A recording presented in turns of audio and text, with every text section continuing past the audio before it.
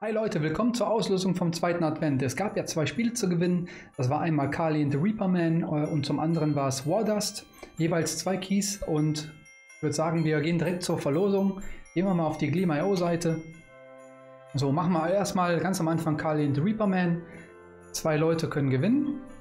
Von wie viel? Von zwölf Leuten können zwei gewinnen. Also haben ein bisschen mehr Leute mitgemacht als beim letzten Mal. Da waren es nur sechs. Und ich würde sagen, wir legen direkt los. So, Kali and Reaperman geht an. Trommelwirbel. So, das ist einmal der Thomas H. und der Nullpointer. Herzlichen Glückwunsch. Und äh, der Nullpointer hat mir im Discord schon gesagt, er hat noch nie was gewonnen und ja, jetzt hat er mal was gewonnen und äh, freut mich für ihn. Dann würde ich sagen, gehen wir jetzt direkt zur nächsten Auslosung. Das wäre Wardust. So, kommen wir zur Auslosung von Wardust.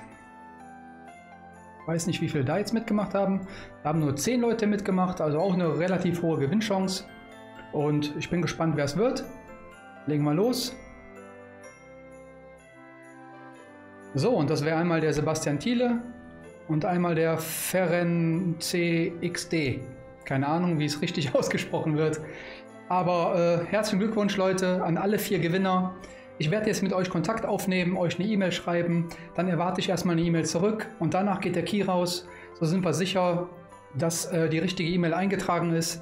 Ich habe vom letzten Gewinnspiel auch noch von einer Person keine E-Mail zurückbekommen. Ich habe schon zweimal geschrieben, aber nichts erhalten und äh, ich werde das sehr wahrscheinlich nochmal neu verlosen. Muss ich mal gucken, wie ich das mache. Aber erstmal herzlichen Glückwunsch, Leute, und äh, ich wünsche euch viel Spaß mit dem Gewinn. Schönen Abend noch. Ciao.